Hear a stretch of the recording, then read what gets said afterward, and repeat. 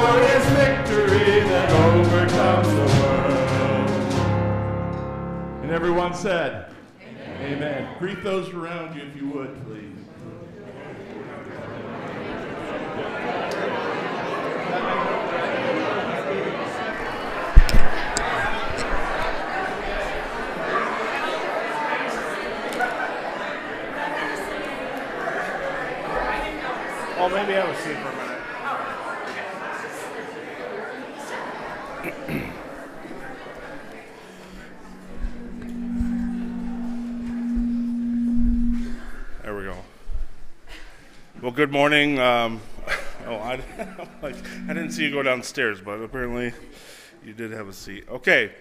Well, good morning. We're glad you could be here to worship with us this morning. We are excited about a few things that are going on at church here. We have uh, the first thing is uh, Butch's class has started, and so um, the foundations class is meeting in room number seven.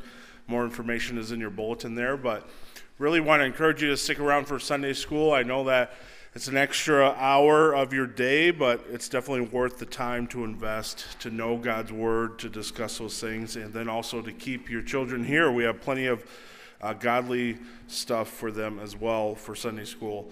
Uh, a couple other things too as well. No council meeting uh, this Sunday. We'll postpone that uh, to a later date. And then also night of worship. Uh, just want you to take note of that. That's happening, and I don't know. Did you want to say anything? Yeah. oh yeah. Oh, she made the announcements last week. All right. Did you want to say anything further for the night of worship? I'm gonna put you right on the spot as you come in. She has a baby, so she has an excuse to come in late. All right. We're excusing the absence. All right. Come, join us. Night of worship, February 26th at 7 to 8 p.m. All ages are welcome be a great night of just fellowship and praising the Lord together. We really like to uh, invite you to do that. Also, guess who's coming to dinner? Maybe that's a reminder for you next week. Uh, and that, I think that takes care of the announcement part. This Wednesday, I announced to the students that I've taken a position as, as a senior pastor at uh, uh Cornerstone Fellowship Church in uh, Greenfield, Iowa. And um, we are excited to be able to uh, pursue uh, the senior pastor role and take on the position. I think for me and Michelle, we are sad to be leaving. May will mark 15 years of being here at Faith Church. And so we have enjoyed our time here. We've enjoyed our experiences together. Um, one of my former students was asking, uh, Who's your favorite a couple of weeks ago they were asking who's your favorite youth group or whatever? And i said you know every cycle uh, that comes and goes and as students have graduated and of course have moved on you know new students have come up. And even this year we have great students as well. And so i said i know it's a cop out answer but it's just it's not really a, a fair one to answer because at the end of the day all of them have been great. And we've enjoyed our time here and, and the mission trips that we've been able to take with the students and the retreats and the different things that we've done to uh, the experiences here at church of um, really one of the things as I was uh, going through the the candidacy of, of senior pastor and they asked me, well, what, you know, how do you, why do you qualify? You know, what, what makes you, you know, ready for the position? And, and I said, well, I have a lot to learn, but I said, one of the great things that, uh, you know, uh, my senior pastor has done is prepare me for uh, the next role by allowing me to preach, to be involved in adult ministry, to do different things throughout the church. Uh, I jokingly said my title here was anything the senior pastor didn't want to do. and they all giggled as well. So, but uh, but yeah, I really enjoyed my time here at church. And so, a couple questions I'm sure you have is when I'm leaving. I told Butch Monday morning, but no, that's not true. But uh, uh, it'll be a couple months. We're going to processing. You can pray for us as a family. Uh, first of all, just we're. I talked about some damage to my house in August, and it's not fixed yet due to uh, some lousy construction uh, crew. But anyway, it's getting worked on right now, and so you can pray for us as we get that done. And then um, you could pray, if you would, for our family as we told Maverick and explained things, his biggest, uh, you know, sadness and uh, really upset was his friends. He loves the church friends that he has and, and the school friends. And so we were excited when we went down to candidate that they did a great job in uh, making him uh, new friends, new new boys at his age. There's quite a few, and so uh, that was nice. Can't replace the boys here, but uh, it was just good for him to connect with somebody. And then Maverick, of course, would be all smiles anywhere he goes. So it doesn't matter if he's here or in Iowa or, or you know Southern Iowa or whatever. But um, and then yeah, pray for me and my wife as we navigate. Pray for the emotions of leaving and the wisdom of leaving. And uh, we again I've just really enjoyed every every season of the ministry that we've had here, and so we'll be sad to go. And I think Andrew has a couple things as well uh, to pray for for us. But you can be praying for the next next process for us, and I'll have Andrew come up here and finish it off.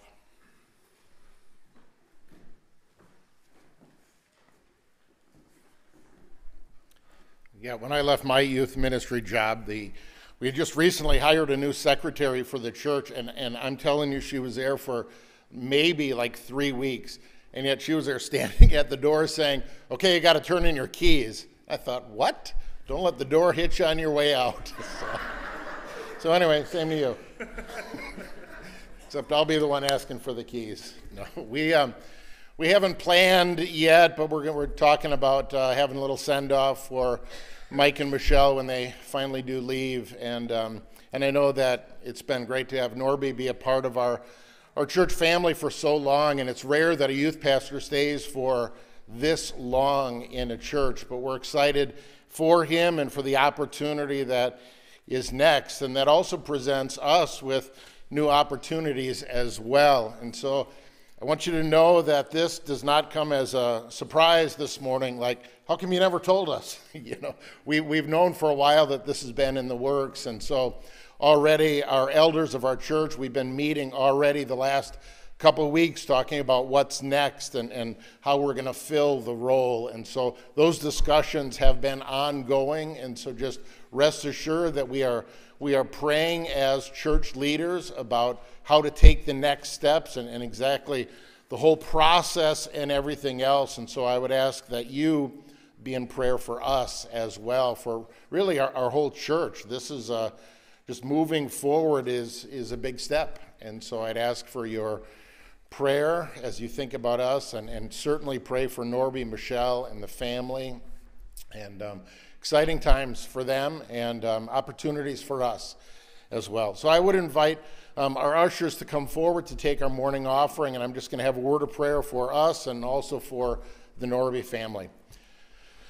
Father God, we come before you. We do thank you for blessing upon blessing that you give to us. Sometimes these blessings we don't always recognize at first, but God, we know that you give and you take care of your faithful followers. And so even now, we do pray for this offering. We pray for this service that we have before us. We pray for um, even our future as um, Faith Evangelical Church. We pray for Norby and his future at Cornerstone Church of Greenfield. God, we just ask that you continue to lead, guide, and direct. And even as we even as we part ways, God, we're just thankful for the years of service and the ministry and lives that have been impacted and touched because of your faithful servants. And so, God, we just thank you for this day, and we just pray all of these things in Jesus' name. Amen.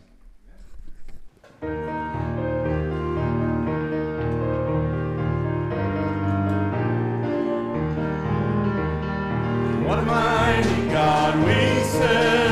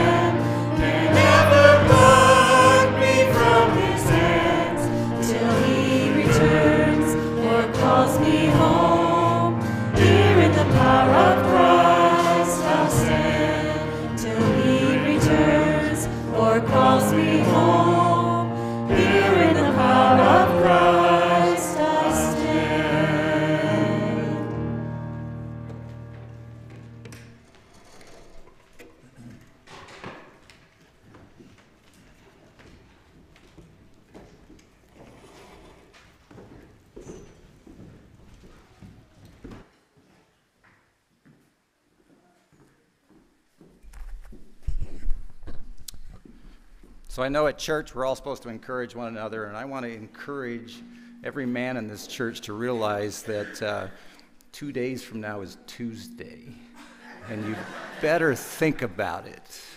So uh, let's pray. Heavenly Father, we praise you for salvation in you. We need you, Lord, and we thank you for what you do. Lord, we lift up Sally Holacek unto you right now. She is having surgery tomorrow, and we pray that you would give those doctors wisdom and you would bring healing to her body that they can remove that tumor. Lord, you are the ultimate healer. Just watch over that and be with Lynn and their family. Take care of that, O Lord. Lord, we pray for Dave Butler that you'll continue to help him as he's recovering from his stroke, that he does his physical therapy, that um, he can become strong, and we can see him back here at church. We praise you for him as well and take care of him. Lord, we do pray for um, Michelle and Norby that you will bless them as, uh, as he, they go to Greenfield as the new head pastor and uh, um, watch over them, take care of their family. Um, we praise you for Norby. We praise you for Michelle and their family. Um, we love them and are grateful for them. We pray for um, the future here as well, that you would bring us um, the man of God to fill that position that you would want. Thank you, Lord, for loving us. Oh, we want to rejoice and be grateful in you. Bless Andrew as he speaks from your word. We thank you. Amen.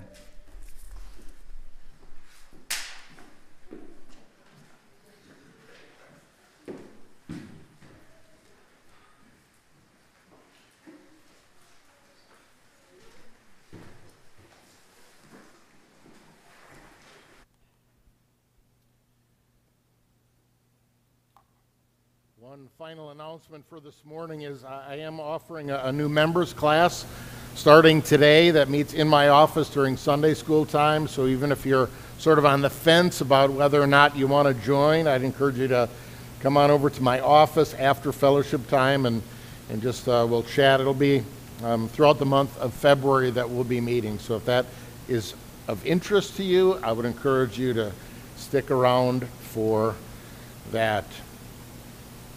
Our chapter that we're going to talk about this morning reveals a fun and favorite and familiar story to many of you.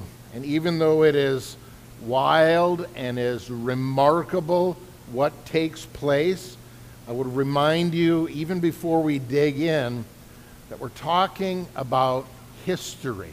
We are talking about an event that actually happened. Even though it is miraculous, it is not a fairy tale, it is simply God at work in the world.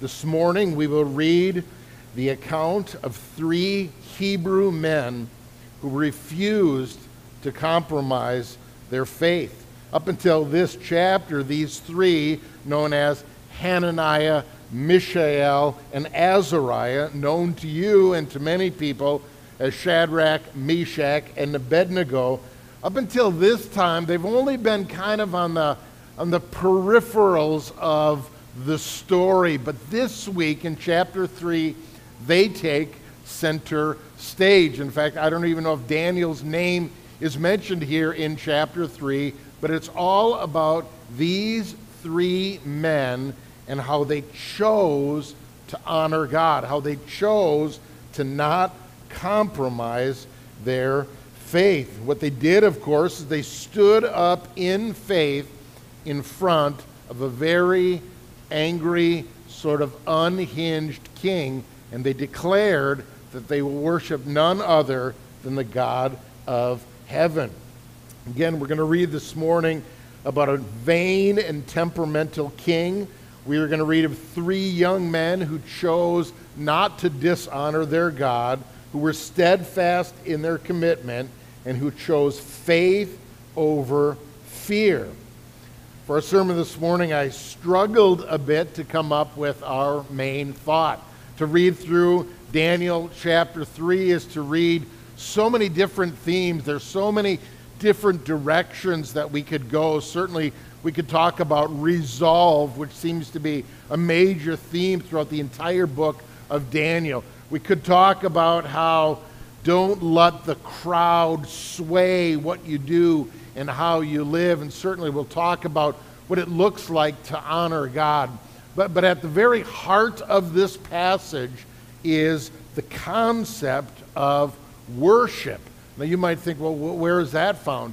11 different times in this chapter, the word worship is used. And so that's what brings us to our main thought for this morning is this it comes down to this who or what will you worship in life? What is the object of your worship? Is it our god above or is, is it something that is here that's man-made on this earth or is it even your own self? You've placed yourself on the throne instead of placing god it's interesting to note that as I read chapter 3, and as most of you know the story of these three Hebrew men, all of us want to identify with them. All of us kind of want to slide right in and think, I'm just like these three. And for me, I would stand up for my faith, even if it means death. But I want you to know this morning that I think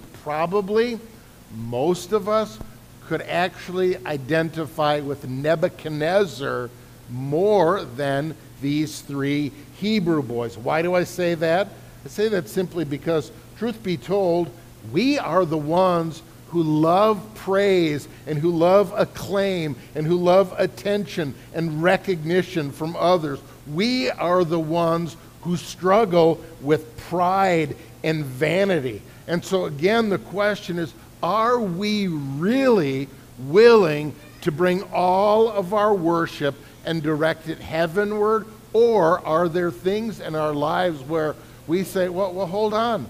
I, I kind of like being on the throne of my life, and I kind of like living for me and worshiping what I want to worship instead of worshiping God. And so I believe this passage is going to hit us right there. This passage is going to open up our eyes to what worship looks like and how God always ought to have that place of priority and preeminence in our lives. What I'd like to do this morning is invite you to turn with me to Daniel chapter 3. And the way that I've done this in the last couple weeks, we're going to follow this same pattern as, as I talk of the flow of the narrative. What I'm going to do is I'm going to read that section, we'll talk about it, and then I'll read the next verses, and we'll talk about that and kind of work our way through so we get the whole flow of what is going on here in these 30 verses of Daniel chapter 3. Some of you, of course, chuckle because you think usually it takes me months and months and months to do 30 verses. Fasten those seatbelts because we're moving. First of all, I want to talk about the requirement from this pagan king, the requirement that Nebuchadnezzar puts upon not only the Hebrews, but all the people in his realm. And let's look there, Daniel chapter 3, beginning in verse 1. I challenge you, even as I read, to take note of each time the word worship is used right here. Here it goes, verse 1. Nebuchadnezzar the king made an image of gold whose height was 60 cubits and its width was six cubits. He set it up in the plain of Dura in the province of Babylon. I'm just going to pause right there because most people don't know what a cubit is. In Jewish reckoning, a cubit is 18 inches. In Babylonian uh, reckoning, which is a little bit different, they say that a cubit is 20 inches. So we're talking about a structure that is between 90 and 100 feet tall by 9 to 10 feet as a base. Very tall object right there, set up in the plain of Dura in the province of Babylon. Verse 2 King Nebuchadnezzar sent word to gather together the satraps, the administrators, the governors, the counselors, the treasurers, the judges, the magistrates, and all of the officials in the province to come to the dedication of the image which King Nebuchadnezzar had set up. So the satraps, the administrators, the governors, the counselors, the treasurers, the judges, the magistrates, and all of the officials of the provinces gathered together for the dedication of the image that King Nebuchadnezzar had set up, and they stood before the image that Nebuchadnezzar had set up. You see the emphasis there. All these people on the image that a man had set up. Certainly, he was the king of a great empire, but Nebuchadnezzar had set up this image, obviously, for a very specific purpose. Takes us to verse 4. Then a herald cried aloud, To you it is commanded, O peoples, nations, and languages, that at the time you hear the sound of the horn, flute, harp, lyre, and psaltery in symphony with all kinds of music, you shall fall down and worship the gold image that King Nebuchadnezzar has set up. And whoever does not fall down and worship shall be cast immediately into the midst of a burning, fiery furnace. So, so at that time, when all the people heard the sound of the horn, flute, harp, and lyre in symphony with all kinds of music, all the people, nations, and languages fell down and worshiped the gold image that King Nebuchadnezzar had set up. So we read that there is a requirement from this pagan king. He set up an image, a giant image that is made of gold. It is exceedingly tall and it is exceedingly impressive. I'm not exactly sure what this image looked like. Of course, there's, with everything, it seems there's two schools of thought. There's some people who think that it was a giant obelisk, much like the Washington Monument. Again, just speculation, and I think we've got a picture of that somewhere in here. So some think that, that, that this image that he set up looked just like that. But then there's others, and this is where I'm kind of inclined to be, is that I think what he set up is probably an image of a man, presumably taking note of this vision and dream that he had and back in chapter 2 of this, of this giant image with the head of gold and then the different metals that go on.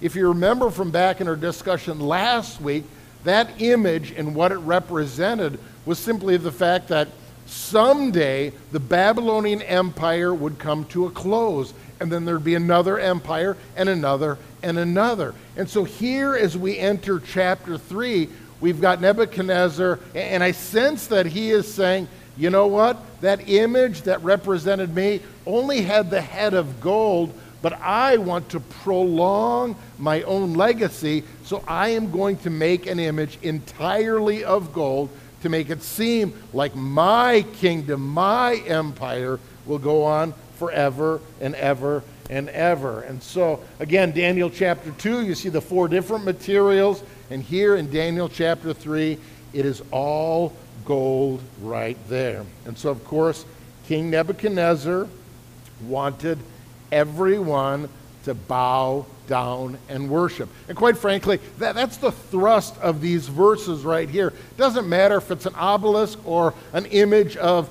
the king himself. Regardless of all of that, what we have before us is a pagan king demanding to be worshiped. A pagan king who demands it, but know this that we have a God in heaven who not only demands it, but who also deserves it. With King Nebuchadnezzar, this is an undeserving man. Certainly, he was king over a vast empire. Certainly, he was impressive in his war, in his intellect, and all sorts of other things.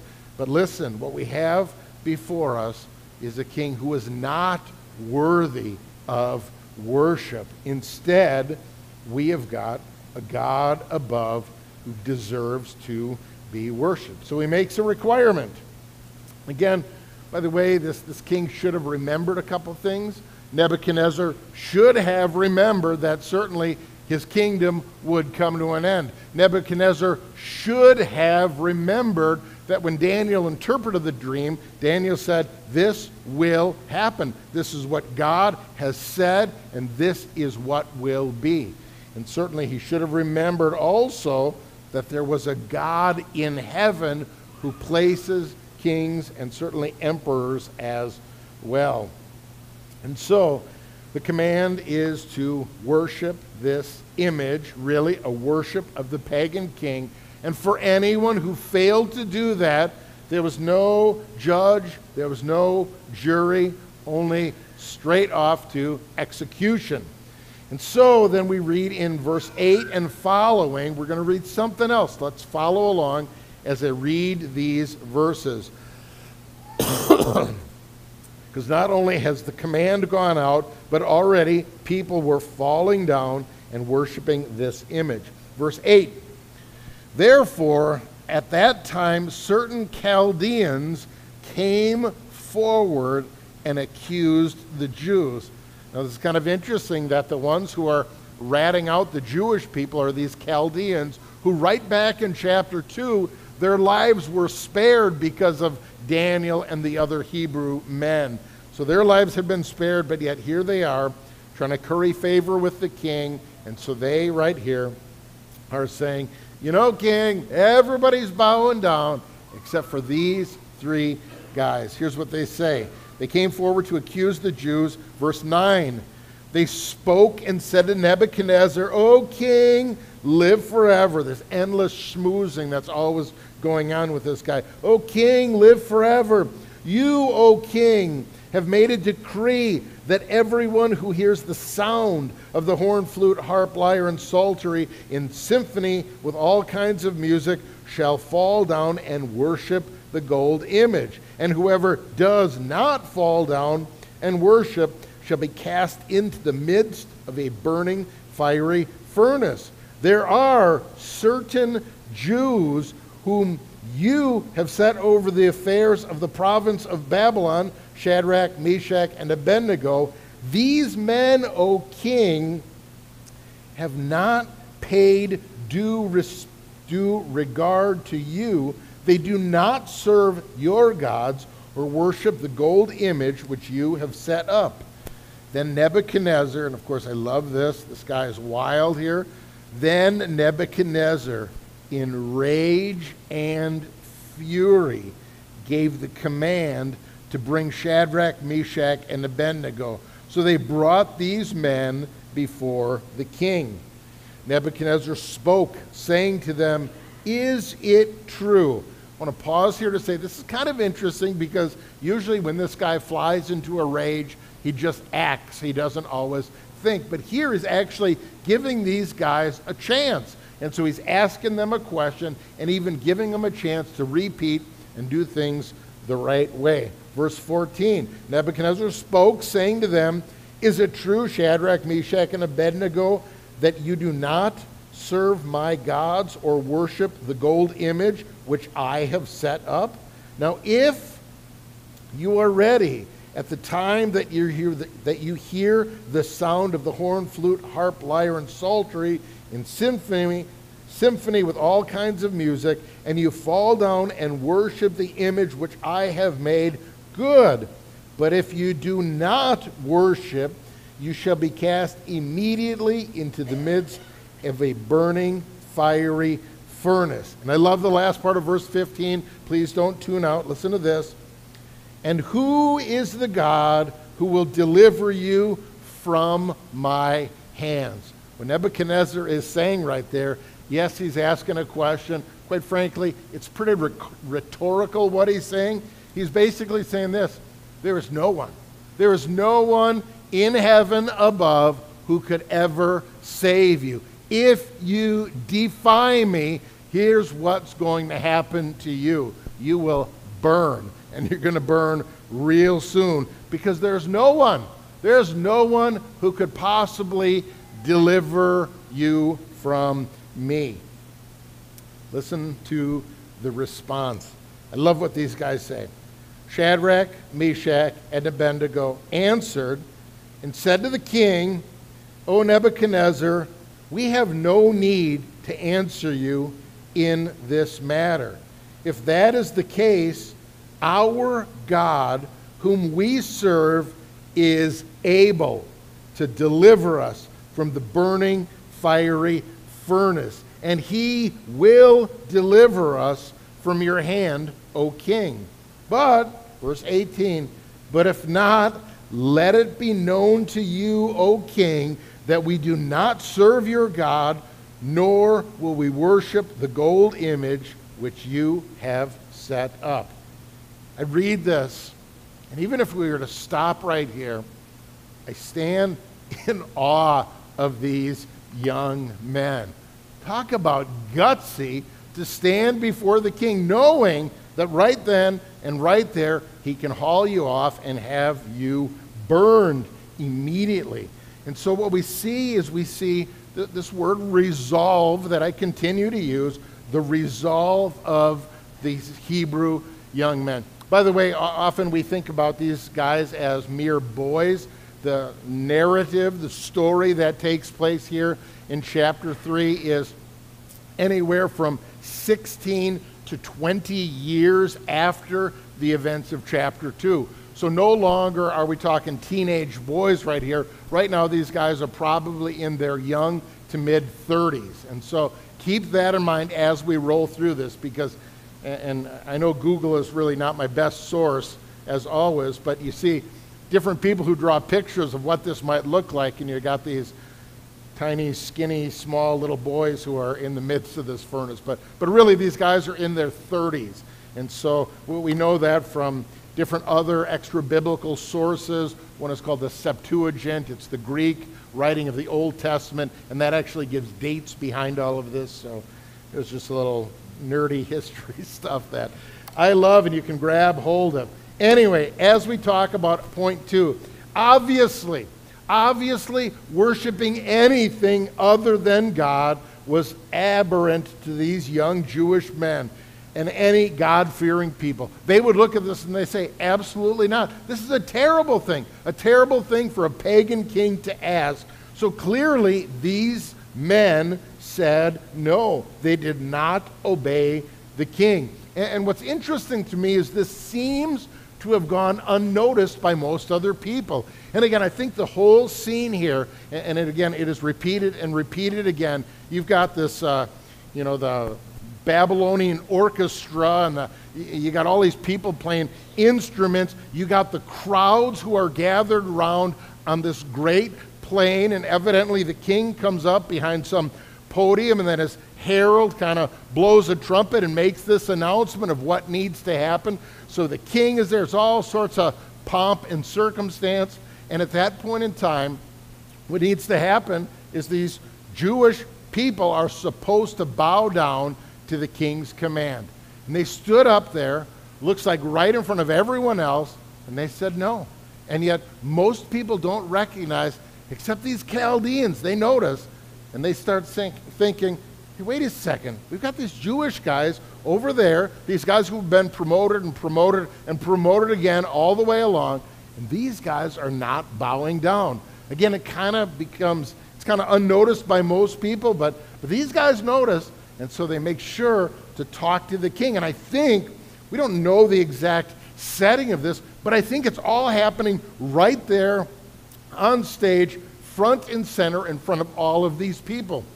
As you read through, I used to think that, well, probably at a later date, these guys came and made mention to the king. But, but later on, we, we see that looks like this orchestra is still there. Looks like everybody is ready and, and they're all ready to do this all over again. So I think this whole narrative unfolds in front of all of the crowds. So again, even more courageous for these young men to stand up.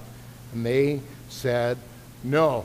Now, often the question is well, okay, so why did these Chaldeans, why did they want to rid the earth? Why would they tell the king about these three Hebrew guys? And I think the, the bottom line is I think it's just jealousy. I think it's jealousy all the way along. These guys have been promoted.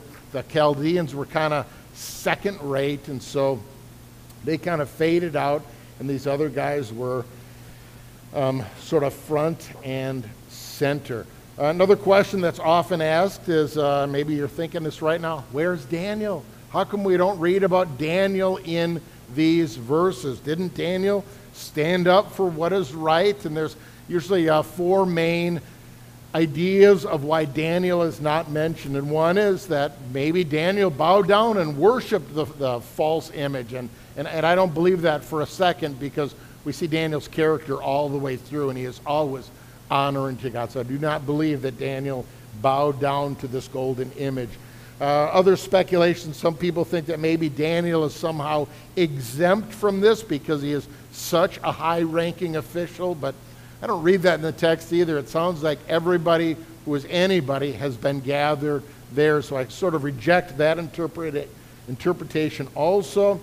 Uh, a third idea that some people have posited is that maybe because Daniel, in his interpretation of the dream of chapter 2, spared the life of these Chaldeans, maybe they did have this warm spot in their heart for Daniel, and so they told on the other three guys, but didn't tell about Daniel bowing down also. But I don't think that's true either. We, we would surmise that probably Daniel, as a high ranking guy, is off doing the king's business elsewhere, and he just wasn't present at that time. Or else I firmly believe that Daniel would be doing everything that these other young men were doing. And so, as we flow with our story, the king gives these guys a chance, a second chance, which is kind of unheard of, especially for this angry king. He gives them a second chance and he said, All right, let, let's do this again. Are you willing to bow down? And he's ready to cue the musicians all over again. And he says, If you do this, good. But if you do not worship the image, you'll be cast immediately into this fire. I love the response. I love this. I could read this over and over and over again, what these guys say in verses 17 and 18. It is profound and it is powerful, and we can grab hold of that for anything that we face today. It's got those sort of implications. The resolve of these three guys makes it very clear where their commitments lie. They are unwaveringly committed to following and obeying God. And here's what they say they say, first of all, verse 17, that the God of heaven, the God of Israel, their God, is fully capable of delivering them. They said, we, our God, the one that we serve, is fully capable. He is able to save us. And then they said, last part of 17 is that they say, and he will deliver us from your hand, O king. So there's confidence moving forward of what God would do. But then verse 18, but even if not, let it be known to you, O king, that we do not serve your gods, nor will we worship the gold image which you have set up. And so, one thing is certain they will not bow down. Moving forward, 19, verse 19, please follow along. Then Nebuchadnezzar was full of fury, and the expression on his face changed toward Shadrach, Meshach, and Abednego. He spoke and commanded that they heat the furnace seven times more than it was usually heated. And he commanded certain mighty men of valor who were in his army to bind Shadrach, Meshach, and Abednego, and he cast them into the burning fiery furnace. Then these men were bound in their coats, their trousers, their turbans, and other garments, and they were cast into the midst of the fiery burning furnace. Therefore, because the king's command was urgent and the furnace was exceedingly hot, the flame of the fire killed those men who took up Shadrach, Meshach, and Abednego. And these three men, Shadrach, Meshach, and Abednego, fell down bound into the midst of the burning fiery furnace. So, what we read right here is the wrath of the king.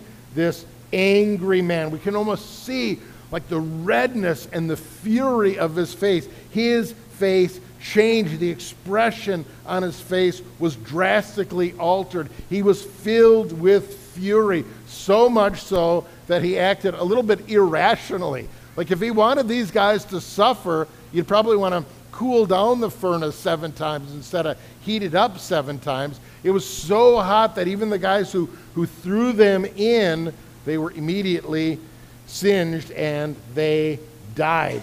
So, I, I don't, here, we got some artist rendering of what this might have looked like.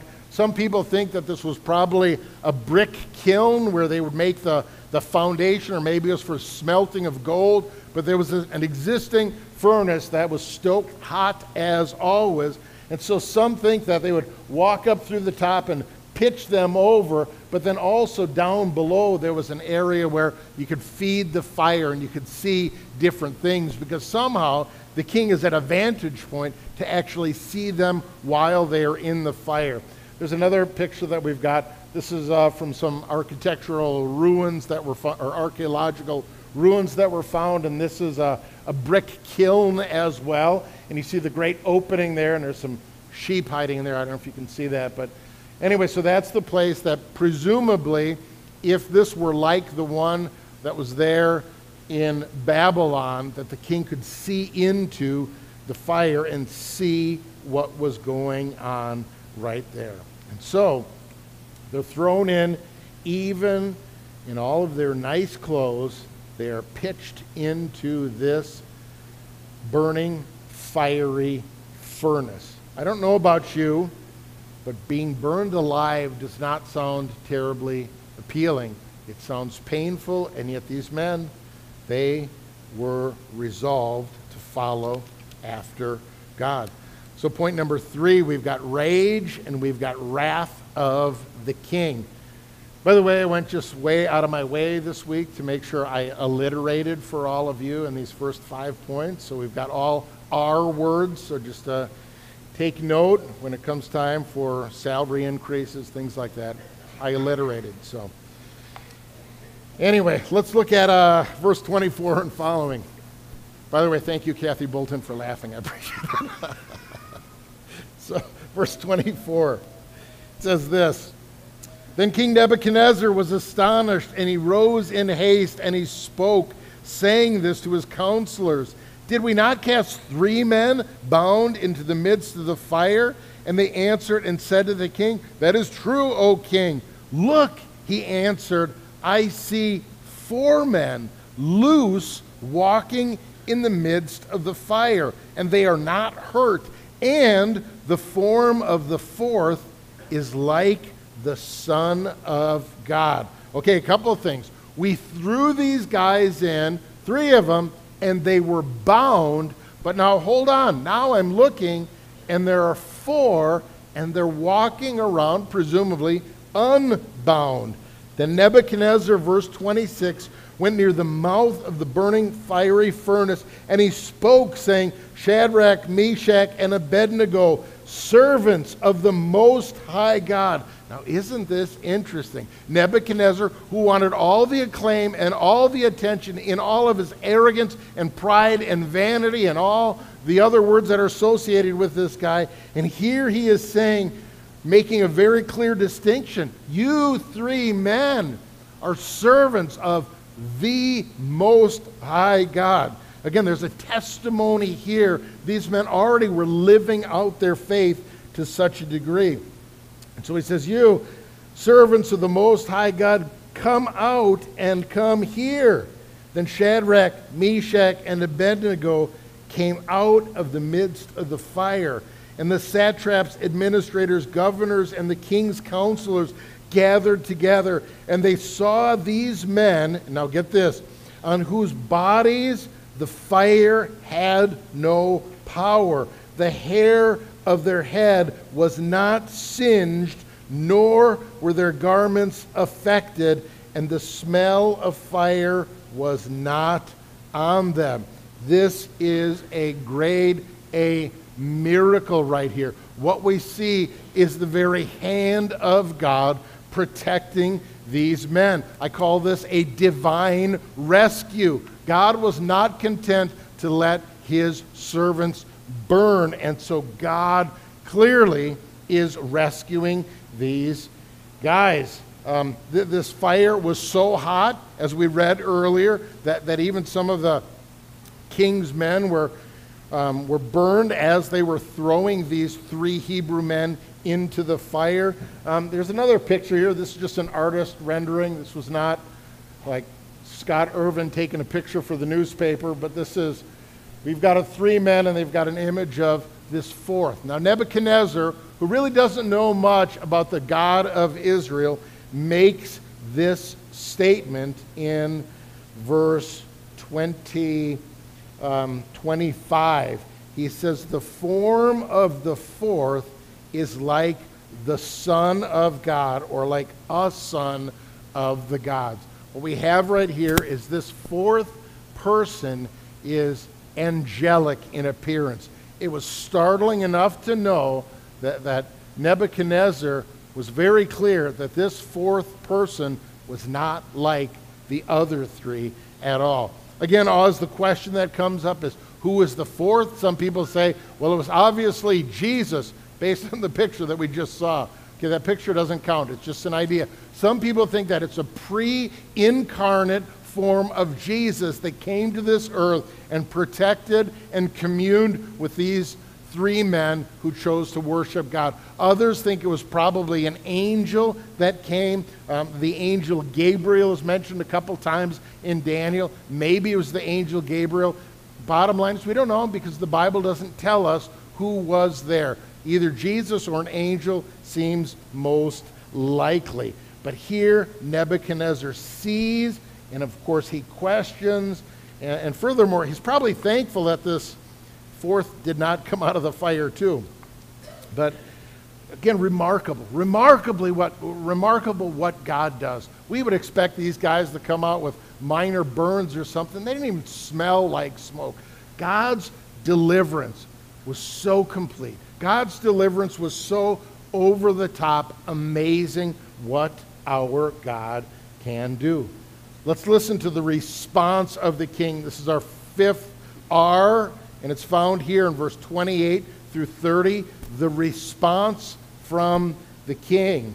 Here's what he says Nebuchadnezzar spoke, saying, Blessed be the God of Shadrach, Meshach, and Abednego, who sent his angel and delivered his servants who trusted in him. And they have frustrated the king's word and have yielded their bodies that they should not serve or worship any God except their own God. Therefore, I make a decree. This is one thing we always learn about these Old Testament kings. They're always making these decrees pretty quickly and rashly. Therefore, I make a decree that any people, nation, or language which speaks anything amiss about the God of Shadrach, Meshach, and Abednego shall be cut in pieces, and their houses shall be made into an ash heap, because there is no other God who can deliver like this. Then the king promoted Shadrach, Meshach, and Abednego in the province of Babylon.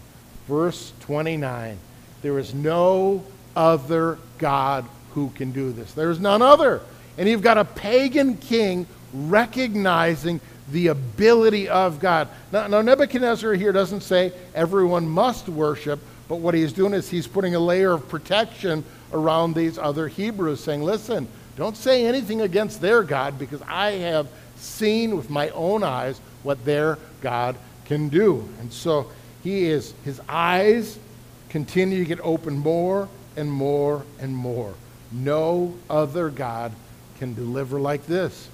Just like to remind you this morning that the God of Shadrach, Meshach, and Abednego, and Daniel, and the God of the Old Testament, the God of the Hebrews, is the same God that we worship today. And I want you to know this that there's no other. There's no other on this world, or on this earth, or in this world who can deliver like our God. And I'd remind you that whatever the obstacles that you face in your life, whatever the frustrations, whatever the temptations, our God is able to rise above all of that, and our God is able to deliver in very real and very miraculous ways. There's nothing that is too far gone or too far outside of his reach. And so I would urge you and encourage you to look up and worship our God.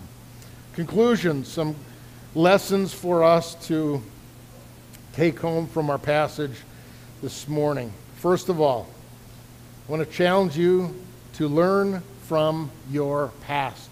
We ought to learn from our past. There are lessons to be learned. King Nebuchadnezzar should have learned a whole bunch of lessons from chapter 2, and he didn't. He should have learned that his rule would someday come to an end. He should have learned that God is the ruler above all. He also should have learned that the Hebrews kind of had an inside track to God, but, but they didn't learn. And my point is for all of us, God takes us through life step by step and day by day. And God gives us experiences to teach us how to walk with Him, to teach us that, that, that He alone can deliver. And God shows up again and again and again. And God shows off again and again and again in our lives and through our lives. And so I want to challenge all of you don't just live in frustration for today and dread tomorrow, but also look back and see what God has already done for you.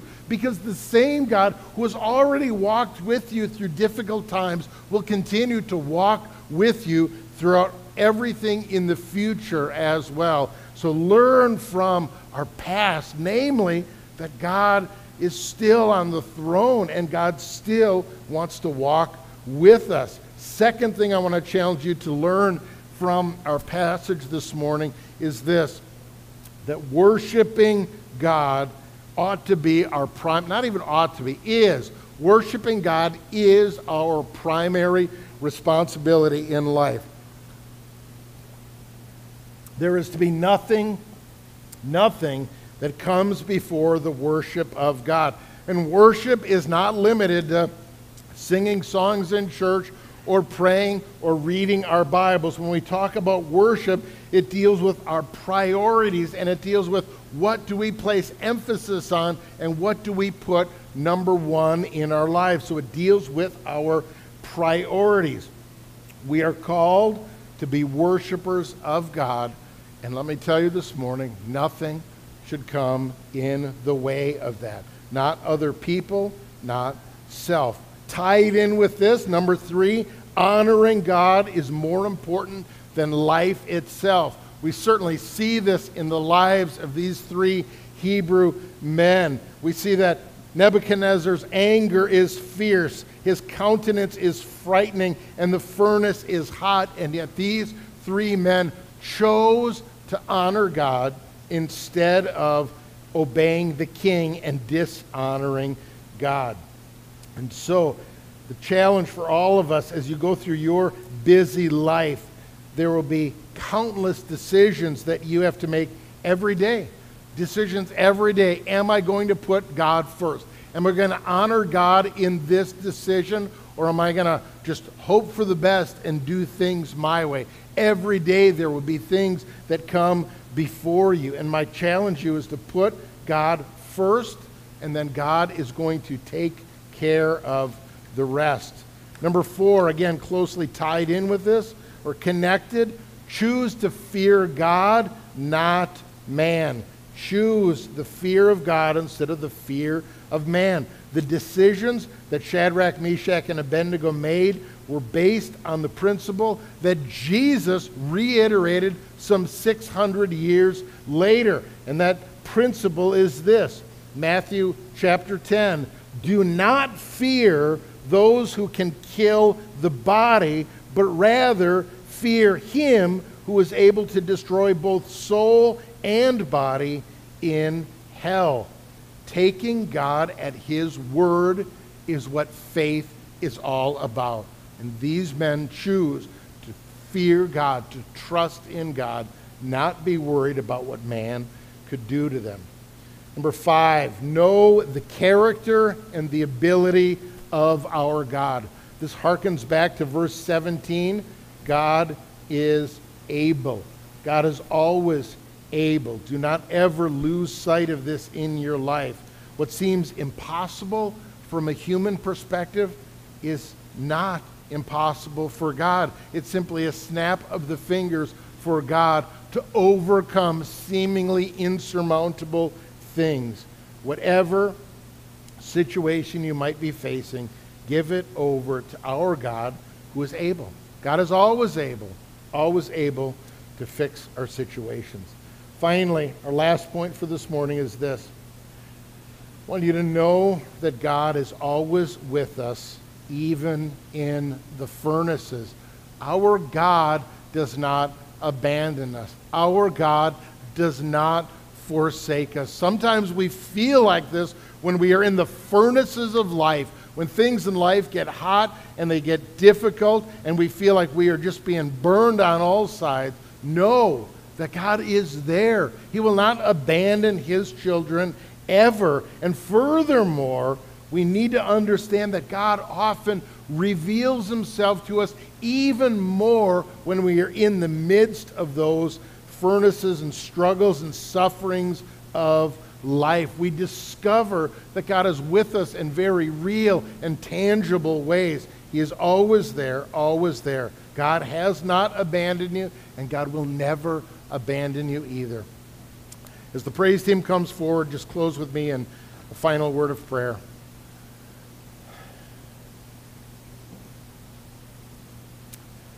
God our Father, I'm grateful once again to be here this morning to unpack your word, to learn more about you and about your character. God, we are so thankful for the example that these Hebrew men set for us. I pray that when we encounter those decisions, that we would keep our eyes always fixed towards you. I pray that we would choose you over anything that this world has to offer. God, help us to love you and faithfully serve you every day of our lives. We pray these things in Jesus' name. Amen. We stand, please.